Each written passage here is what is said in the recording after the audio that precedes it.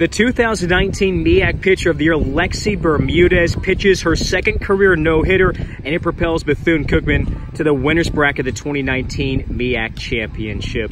Lexi, how much fun did you have in the circle today? It was so much fun. The defense brings so much energy, and when the dugout is up and the defense is up, there's that swagger. Everybody walks around with a swagger, and it just makes the game so fun. So you certainly fed off that, didn't you? Absolutely. They give me energy. When did it set in that you're on your way to a no-hitter? It actually doesn't hit me until after the game.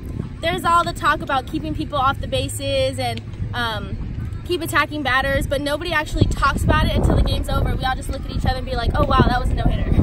What was important for you coming into this game today for you to execute in the circle?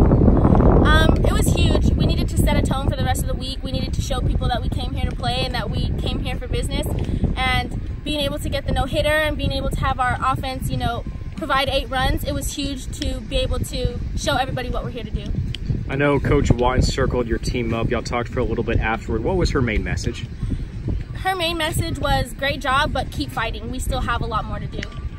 And what did it mean for you to have not only your uh, team support, but a bunch of fan support out here at Ormond Beach?